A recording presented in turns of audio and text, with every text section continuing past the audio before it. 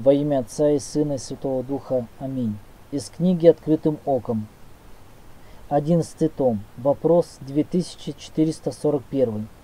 Вы как-то отвечали на вопрос, отчего такие правители в России хапуги и глупые, что не любят свою страну и разоряют свой народ, что будто бы кто-то из пустынников молился Богу о том же и получил ответ.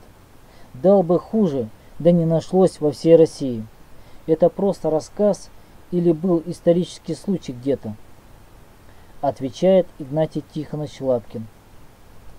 Книга профессора А.В. Карташова «Вселенские соборы», страница 476. У хронографа Дорофея Моновасийского записано такое сказание об императоре Фоке. Кавычки открыты. Один богоносный муж, имеющий дерзновение к Богу, слыша о царских злодеяниях, возопил Господу. «Господи Боже, за что ты прогнился на народ свой и поставил такого царя-тирана? За что такое наказание?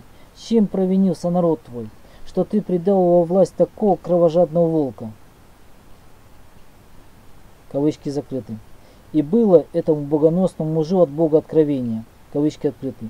«Много я старался найти царя похуже, чтобы наказать народ за его своеволие, но не мог найти хуже Фоки.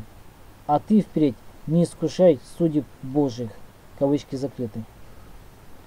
Фока был полковником, но сверх доброго императора Маврикия и казнил его и пять его сыновей, жену и дочерей. Осия, 13 глава, 11 стих.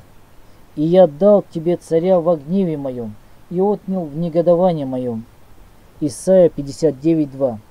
Но беззаконие ваши произвели разделение между вами и Богом вашим, и грехи ваши отвращают лицо его от вас, чтобы не слышать. Иезекииль 36.31. Тогда вспомните о злых путях ваших и недобрых делах ваших, и почувствуйте отвращение к самим себе, за беззаконие ваши и за мерзости ваши. Книга Судей 3.12. Сыны Израилевы опять стали делать злое перед очами Господа. И укрепил Господь Иглона, царя Моавицкого, против израильтян за то, что они делали злое перед очами Господа.